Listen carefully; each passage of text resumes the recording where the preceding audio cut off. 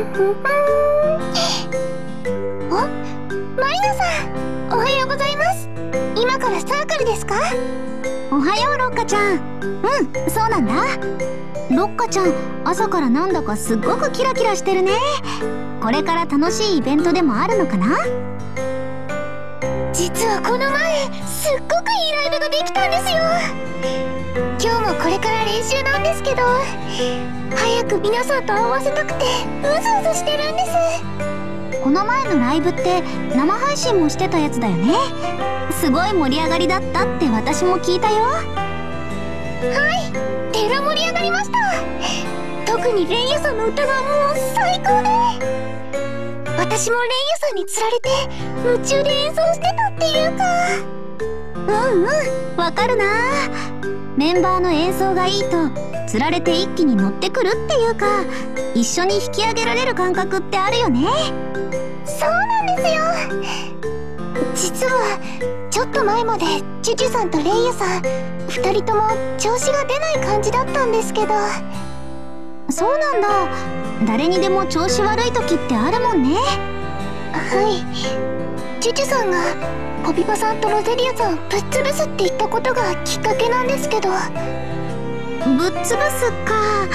なんか改めて聞くと結構物騒な言葉だよね。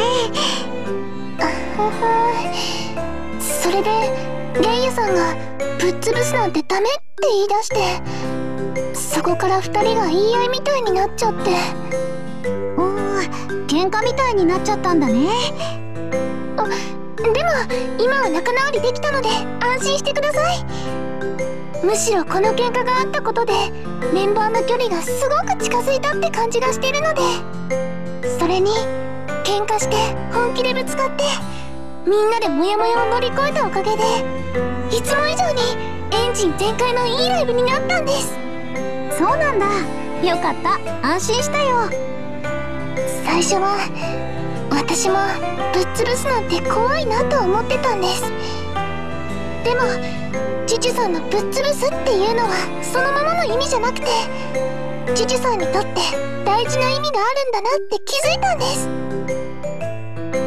まあ今でもぶっ潰すって言われるとびっくりしちゃうんですけどね。うんうん。やっぱり元気が一番だもんね。これからもラスのこと応援してるからね。はいありがとうございます。ああかんもうこんな時間？遅刻したらチュチュさんに怒られても。マリナさん聞いてくださってありがとうございました。それじゃあ練習行ってきます。